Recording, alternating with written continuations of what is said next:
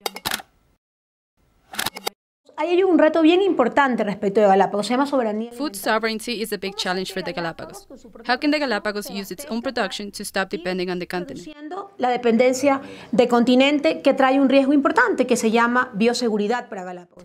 Which represents a significant risk called biosecurity because it means the state will have to pay to prevent risks of products entering the Galapagos. Significa que ingresen productos a Galápagos. Ya estamos comenzando con algunas acciones, como le decía, por ejemplo, already taken actions such as having a local ordinance that will limit a specific product from entering the island. ingreso eh, de un producto específico, que es el queso mozzarella que ya se This is the case of mozzarella cheese, which is now largely produced here. We are analyzing dairy products and citrus fruits, among others. El apoyo que se le está dando al sector productivo a través del Consejo de Gobierno. The Government Council is que una de supporting the productive sector to ensure domestic Galápagos, que el market autoabastecimiento sea posible, pero trabajando juntos. by working together on better prices, better quality, to stop depending on the continent, and reduce biosecurity risks.